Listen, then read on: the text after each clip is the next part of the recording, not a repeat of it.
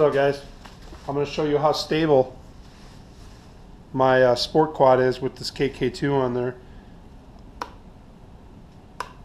I put auto uh, auto level on and uh, I think the gains are pretty high so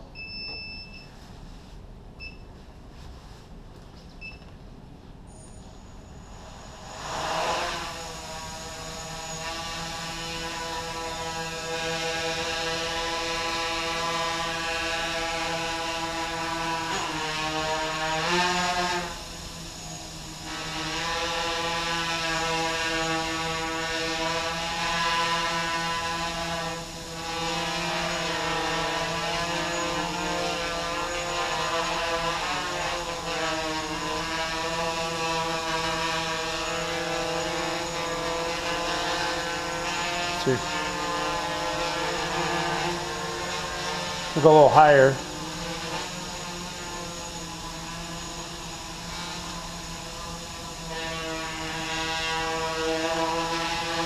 Over there.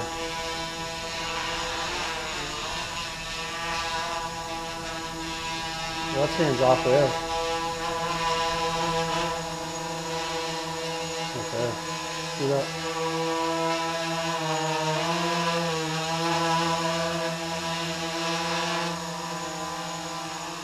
It's so smooth.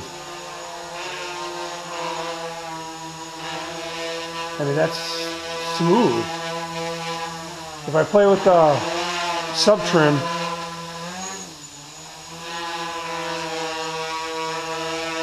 well, these are uh, these are Tiger MS 2208 motors on here now, but uh, I don't have the dome on, but that's that's 2208 Tiger motors.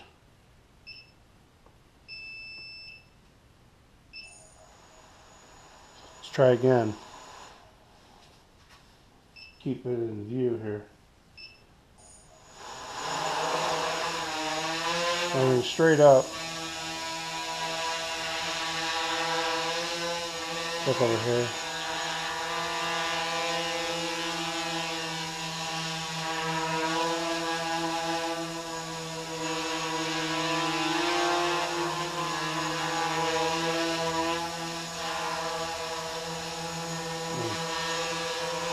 Just throttle going up. A little bit of prop wash, but that's that's about it. I mean, that's pretty good.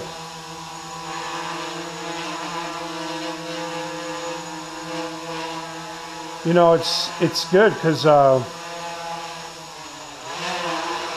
what I like about it, this KK2 is uh, man, it's smooth on the sticks. If you set your gains right and your stick scaling right, it's so smooth on the sticks. You know, it feels natural.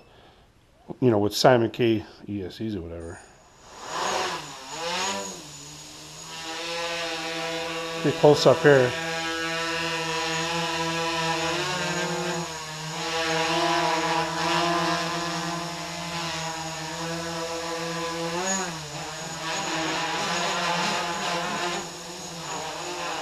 So nice and smooth transitions on your uh, radio when you're moving the sticks.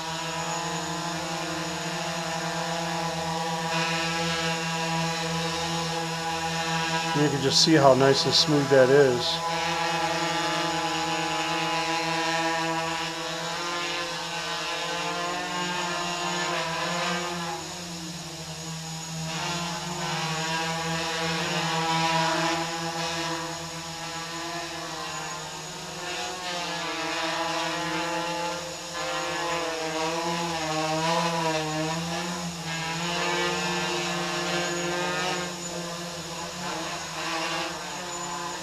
No oscillation, no overcorrecting.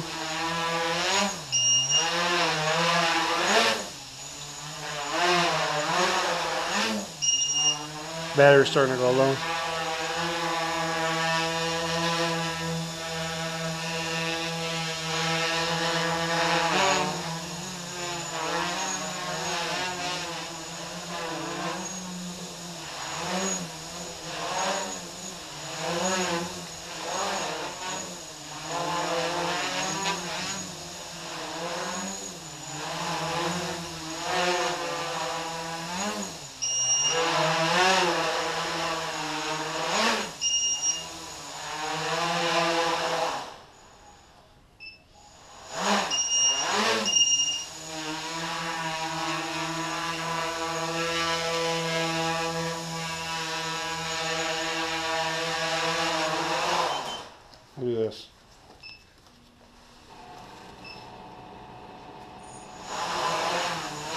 Oh yeah.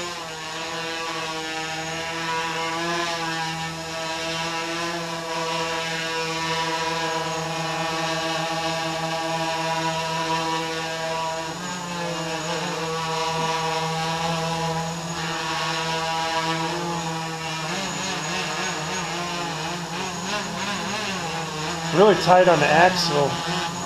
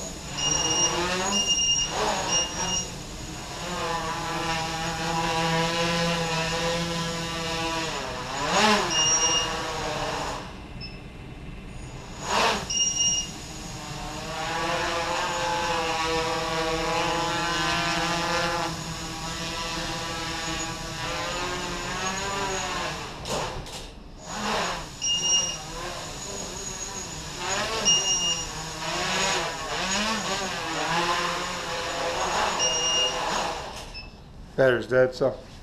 With that KK2 board on my Iconic-X Sport, really stable. I'm pretty sure that KK2 is stable on any kind of frame.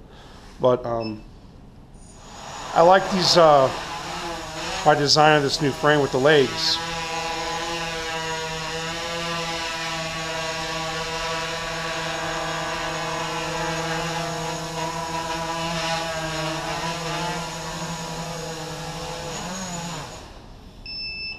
So that's it. There, guys.